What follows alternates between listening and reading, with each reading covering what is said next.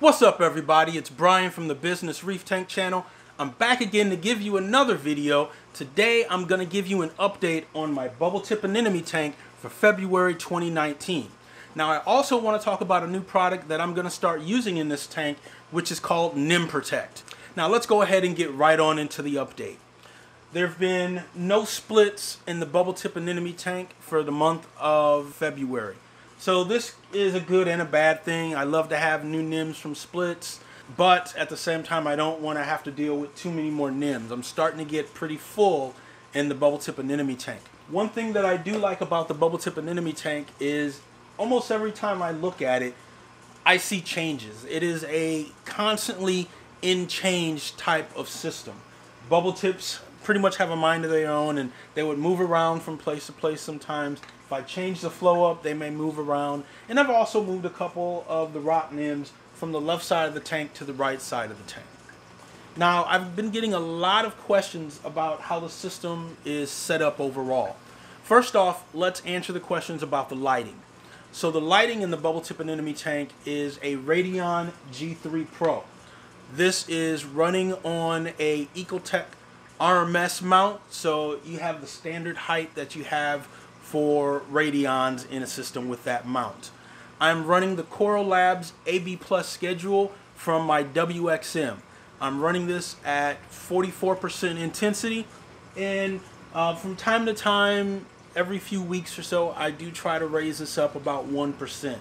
I'm trying to get it to the point where I don't have any Zoas trying to stretch for the light, so that's kind of going to be my, my end point, is when the Zoas stop stretching. Now, I've also been getting a lot of questions about what do you feed? Do you feed the bubble tip anemones themselves? Do you broadcast feed the tank? What I do is I have a Apex auto feed system, and that's going to feed the fish pellets one time a day. Now, about every other day, or pretty much when I, I feel, I like to feed the tank LRS the reason I do that, I do like to target feed the anemones this stuff. I also buy uh, flat packs of mysis, PE mysis, and I will feed the fish that as well, and, and the anemones. I do like to target feed all of the anemones when I do this, and it tends to make them grow faster. It, I don't think it really helps with splitting too much, but they do tend to grow faster than, than what I would expect if I didn't feed them. Now, I also feed a lot of other live foods. I grow my own phytoplankton, so I feed that. With the phytoplankton, I have rotifer cultures and I also have copepod cultures. So I feed that to the bubble tip anemone tank and I also feed it to the 180 gallon reef. Now flow is done by one MP10. Now I've been thinking about adding another MP10 to the back of the system. I'm not getting the flow that I really want to get and that's probably because the bubble tips are a lot larger than when I first started this tank out. So how I ended up getting the NemProtect is I went to BRS to pick up another wet side for the second MP10 that I have and I saw this NemProtect device. Basically what it is, it covers up the MP10 so you protect your anemones. Now right now in my tank I have the foam covers for the MP10s and these work pretty well but I do have a couple of problems with the foam covers. They get dirty extremely quick and when they do get dirty, they slow the flow down. And I believe they probably become a nitrate trap as more and more junk gets into the foam. Now my foam uh, filters here, they get nasty really quick. I probably have about two days before they look like this. And I really hate it when it looks like this. I mean, they're great to help filter out the water. All the gunk and detritus that gets into the foam guards I believe will basically cause a nitrate factory and raise my nutrients, which is something I really don't want to do right now. So I saw the NemProtect. It is basically a 3D printed plastic cover that goes over the MP10. Uh, it's made out of plastic so it won't affect anything negatively in the tank. It's supposed to just slip on the wet side and has small holes to protect the NEM so it can't get into the propeller and get cut up nobody wants to come home and see their bubble tip anemones have been cut up on an MP10 or any other kind of power head. Now, the biggest thing when these foam guards get full, they reduce the flow.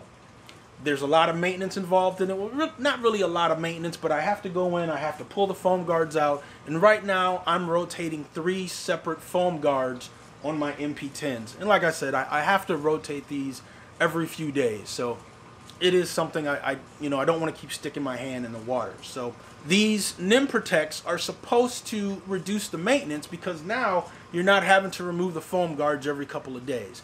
And it shouldn't have any flow loss because once again, it's not going to get gunked up with all the detritus and everything else in the tank. So I got these from BRS. Um, a normal wet side for MP10 costs about $65. The NemProtect cost $31.99. I think it is a little expensive for what it is, but this is reef keeping. Everything is expensive. Now the NemProtect has a pretty slick design. It is made out of 3D printed material. All you really do is you stick the wet side into the cage and it snaps in. Now this is going to protect your anemones or any other creatures from being eaten up by the propellers.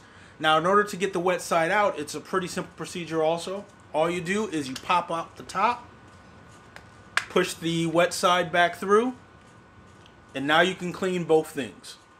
Very simple. I like it. Let's see how it works in the tank.